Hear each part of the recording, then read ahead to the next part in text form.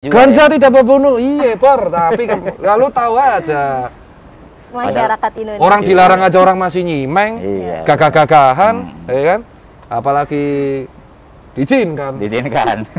Nah, sekarang kita butuh dokter Tirta untuk lebih ngegas lagi nih, di mana kan BNN baru mengeluarkan tagline atau campaign itu War on Drugs nih dok. Oh, iya. Nah, gimana menurut dokter Tirta dan gimana nih cara ngajak masyarakat di luar sana untuk yuk kita sama-sama perang melawan narkoba gitu dok? Bu, kalau dari saya sendiri, Hmm. kalau dari teman-teman itu di bawah nih Mbak, Hmm. saya boleh usul nih, umpung saya di BNN. Siap. Mereka itu sebenarnya tahu, nah, nah yang make mana enggak. Hmm. Tapi malas nyepuin. Kenapa? Yang dicepuin cuma ditahan paling setahun dua tahun. Hmm.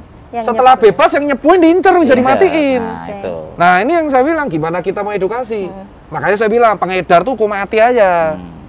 Pengedar ya. Oh iya, berarti kalau saya bisa ya. diteror, pengedarnya marah kan? Ya Iya. pengedar tuh hukum mati aja. Nah yang cepuin dapat penghargaan.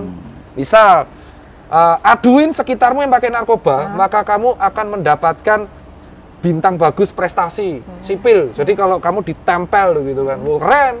Itu bisa buat kerja, bisa buat apa. Yang ketangkep 10 tahun, 20 tahun, 30, mati. Nah, gitu dong. Kayak dur tete, mati kan? Mati. Ya iya. udah, jadi nanti kalau ada alasan, ada alasan polisi nembak mati pengedar, ya pengedar bos. Iya. Ya. Ya. Paling nanti aktivis HAM, tidak sesuai HAM. Ha, sesuai HAM gimana? Mereka tuh merusak generasi kita. Mati jalan utamanya pengedar tuh. Biar bersih Indonesia dari narkoba. Bersih dari Tirulah Filipina.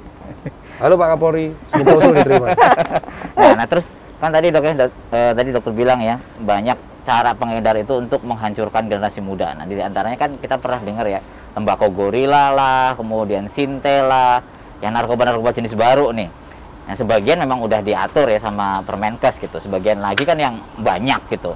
Nah ini menurut dokter harus gimana ini supaya Ya. kita juga Gini, namanya penelitian obat, jadi kita anggap ini kayak obat. hmm, bagi peneliti tidak ada yang namanya tuh eh, ilmiah A, A saklek tuh enggak. Hmm. Apa yang hari ini terjadi, kemarin terjadi, hari ini bisa basi. bisa beda. Hmm. Ya kan? Ya. Apa yang hari ini A, besok bisa berubah lagi, itu penelitian. Jadi saran sih BNN kerjasamanya Kemenristek. Oke.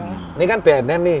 Ya kan kalau yang menangkap ada BNN juga divisinya, ada juga dari Sarsa Narkoba dari polisi. Nah, cuman lebih baiknya BNN ini kan sebuah badan. Nah, badan ini kerjasama dengan Kemenristek untuk meneliti update up to date narkoba-narkoba kayak masuk. Kayak Flaka kan baru beberapa tahun terakhir. Ya. Inek pun namanya lah aneh-aneh. Ya. Ada vape, ada sinte lagi Ada sekarang. sinte. Nah, Hmm. jadi kalau saran saya sih tetap up to date sehingga kita bisa melindungi anak muda ini dari narkoba.